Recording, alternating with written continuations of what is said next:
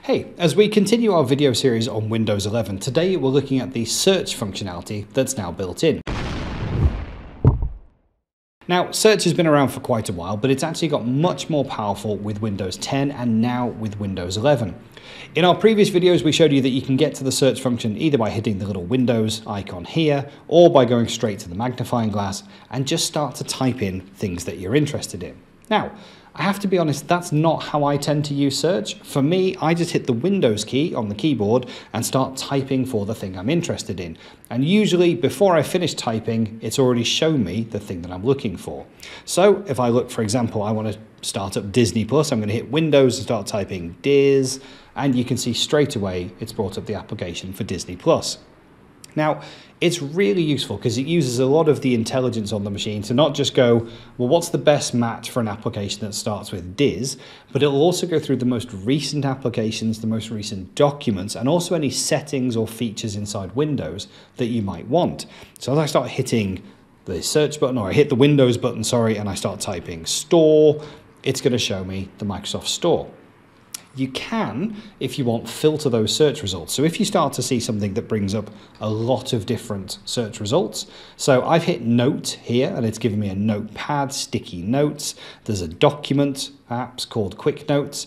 You'll see that across the top I can filter where I want it to search. So do I want it to search everywhere? Applications, documents? Do I want it to search on the web for something that starts with note? And you'll see it starts to bring up some web related searches here. Or do I want to look somewhere else? And here are all the different places that I can look.